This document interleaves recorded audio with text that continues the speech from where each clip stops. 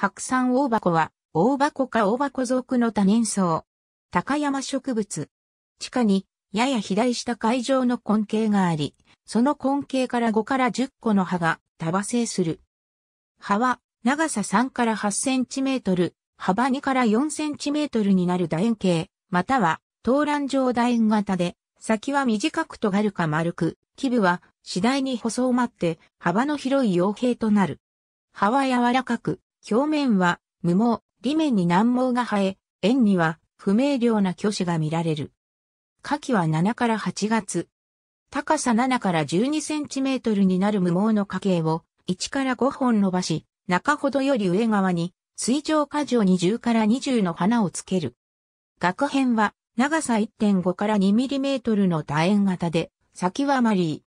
果敢は長さ2から2.5ミリメートルで先が4列して反り返り、赤褐色、または白色になる。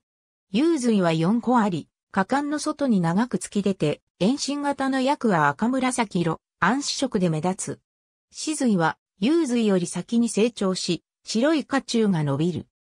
果実は果てで学片の1.5から2倍の長さになり、卵状楕円型になり、中に長さ 2mm になる長楕円形の種子が1個ある。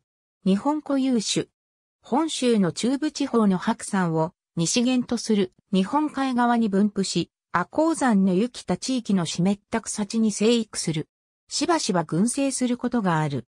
白山では定地性の大箱と高山植物の白山大箱の自然交雑種が見つかり、大箱による白山大箱の遺伝子拡乱を防ぐため、雑種個体と大箱の除去が行われている。